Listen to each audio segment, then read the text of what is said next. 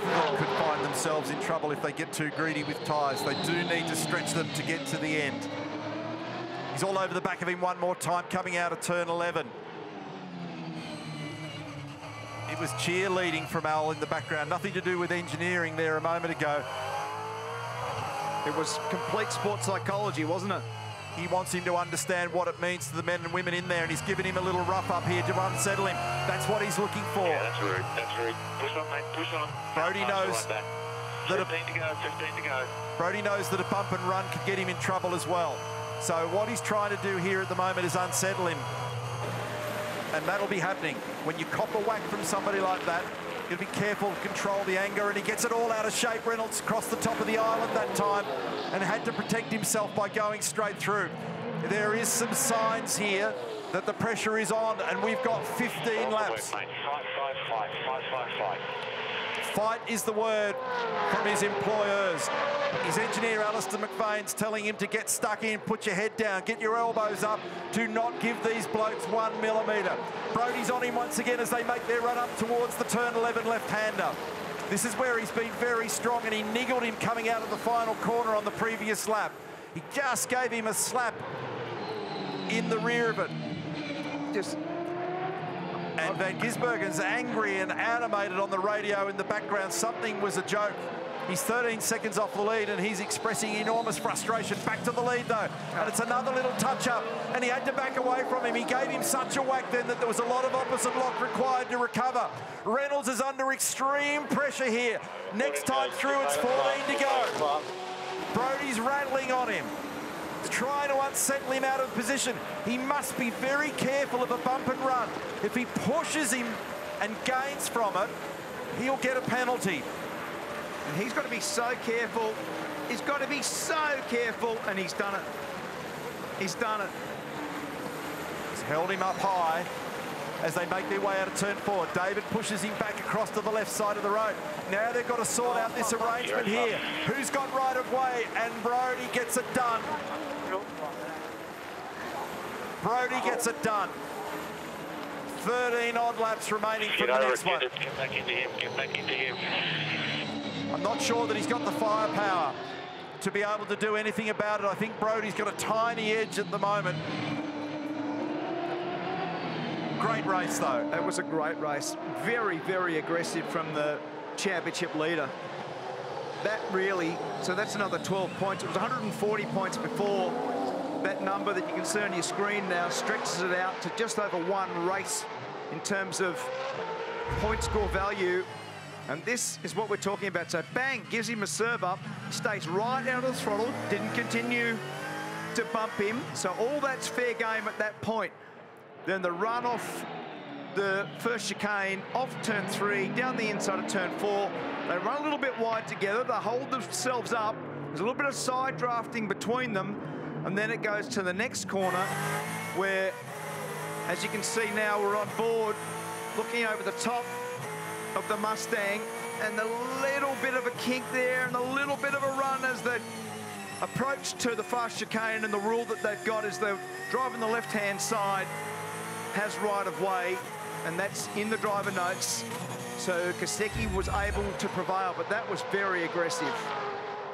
Thomas Randall and Mark Winterbottom, meantime, are in a great battle here, 10th and 11th at the moment. Same thing. Same thing. Yep.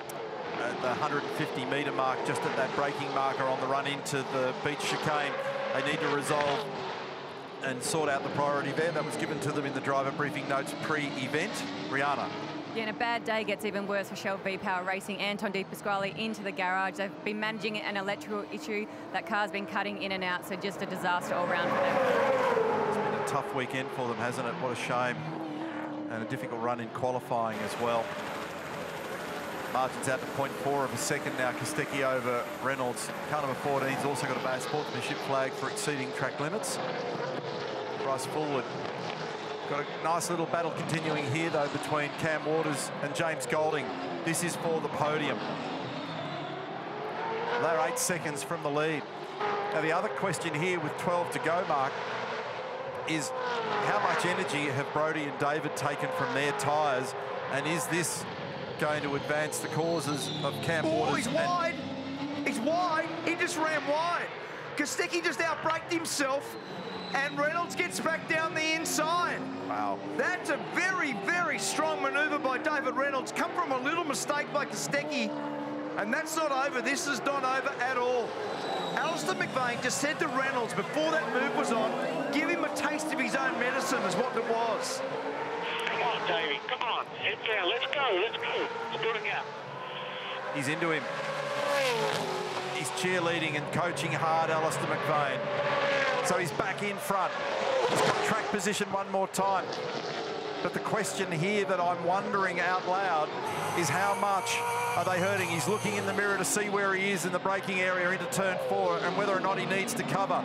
But how much energy are they taking from the tyre because they've gone into sprint mode and we've still got 11 laps to go. So does that play an advantage here for Waters and Golding who are battling for the next spot on the podium for third and fourth? But it's hard to take your eyes from this at the moment. The respective garages are glued to the monitors as well. They're seeing exactly the same images plus all the micro sectors on the timing. So a nice little comeback here for David Reynolds. And that gentleman that you saw on the left-hand side of screen is the engineer, and they've been a duo for a long period of time. On the last lap, they, David was 13th fastest, Kostecki was 19th. This is the mistake. Trying to get it stopped, he just overrun the corner slightly. David was able to capitalise. There was a little bump in the run down to the next corner, and in the end, David was able to prevail on the inside. These blokes are hurting their tyres. For sure. They're hurting their tyres and we're a long way out still. So keep an eye on Waters and Golding here. These replays are also showing us that there's a lot of time burning in this process as well. So they're only seven odd seconds away in the background here. Reynolds is Race still... control to all teams, five second time penalty to car nine for exceeding track limits. Brown cops a five seconds. He's sitting in seventh at the moment. Mostert's got that hanging over him. So's Le Brocq, Hill and Davison also. Reynolds back in control after being hunted by Kostecki. 0.39 of a second officially is the margin. They will be right at the ragged edge of the life of these tyres, trying to get them to the end with this sort of pace. And the world order was restored in the last lap because the two fastest cars were these. So they, after they were battling, next lap, Reynolds was fastest, Kostecki was second fastest. We'll give you those numbers in a second because they're turning it on now. Your point about how hard they've used the tyre, how's that there? 11, 9, 12 dead on the previous lap. Good job, Davey. We've got nine to go. Nine to go. Nine laps to go there. Alistair McVeigh has been absolutely crucial with his input with David today. 11.97 for David Reynolds, 11.94 for Brodie Kostecki. Now you look at their best, it was at 11.5 early in the day for David and 11.6 for Brodie. The delta between the current and the best is only half a second. That's impressive at this point of the weekend. Cam Waters is 7.9 seconds away in third place. He's got his hands full at the moment with a one second margin over James Golding. And if you're Barry Ryan and George Commons on the radio to Brodie at the moment, you have to be really measured now. You have to be measured with nine laps to go. If you can win it, great, but you can't win it or bin it now. You've got to have your championship front and centre. It's a different scenario to yesterday where Waters so hungry for a victory, it was the opposite. He was quite prepared to turn it into a canoe, rip the wheels off it if need be, fight to the death. It's not the same situation for Brodie. He's our championship leader. A misstep for him changes the context of the championship enormously. Al's given us the call. Eight to go. Eight times three. Three kilometres around this racetrack. Reynolds is clinging on here. Remember, he's on the move at the back end of the year. He's changing team. Richie Stanaway comes into Penrite Racing in 2024. Reynolds will be saying goodbye and he's off to Team 18. Right now, though, he's only interested in one thing.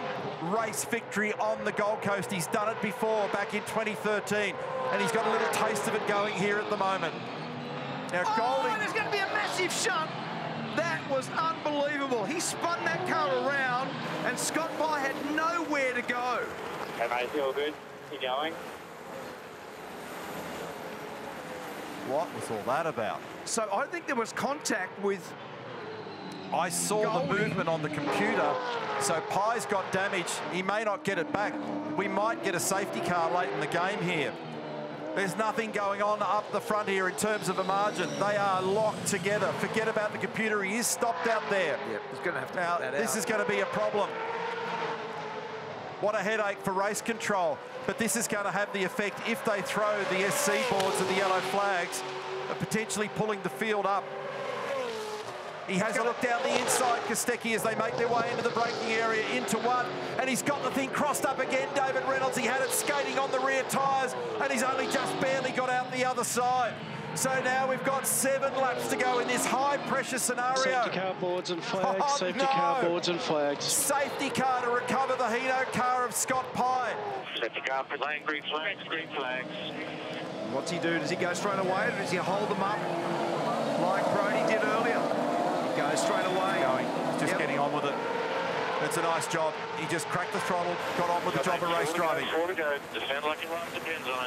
No games. So this is all about a sprint race to the end. Drive like your life depends on it. Four remaining.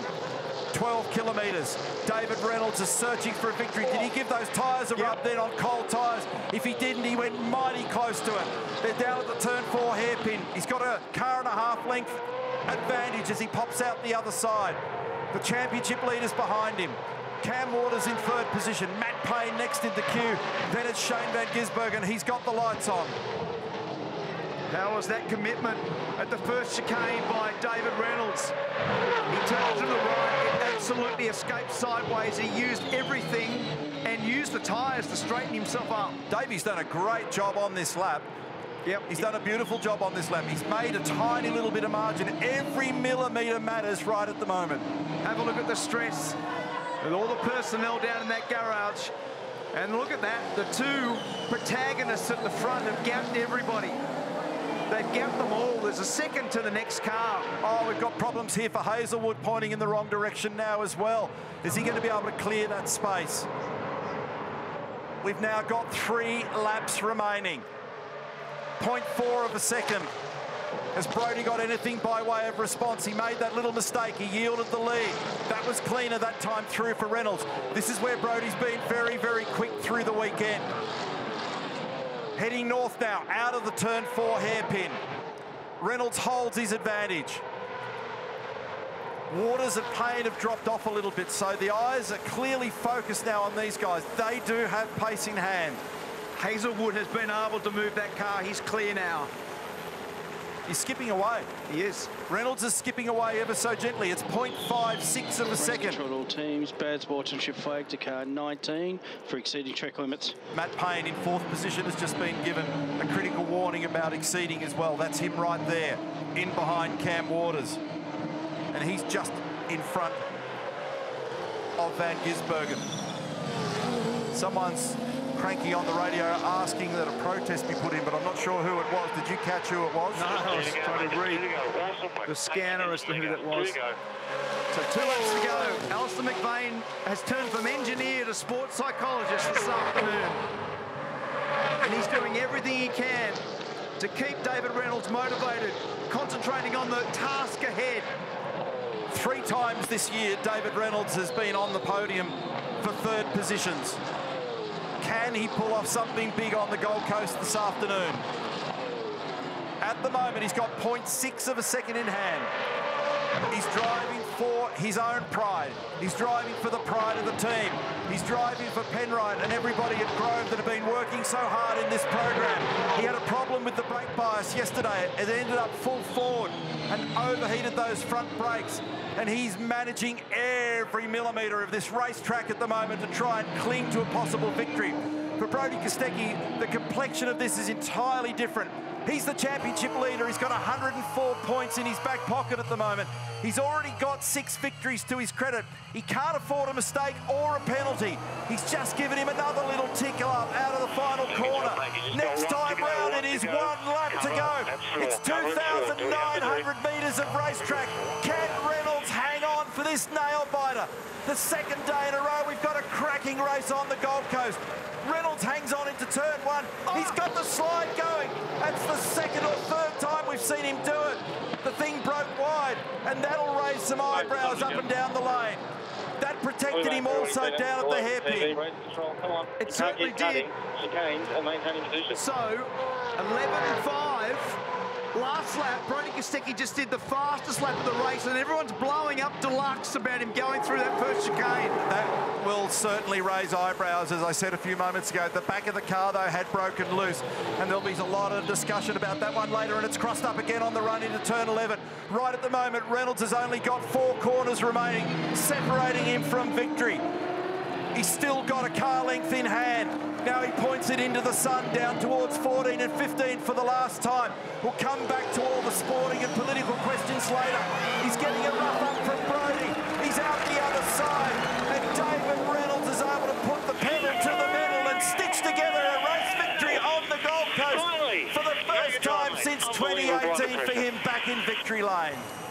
What a cracking race. What a cracking race between those two. Big, big, big moment for Penrite Racing. Big moment for Stephen and Brenton Grove, for the men and women in that team. And a huge moment for David Reynolds. The sparkle in those eyes says it all.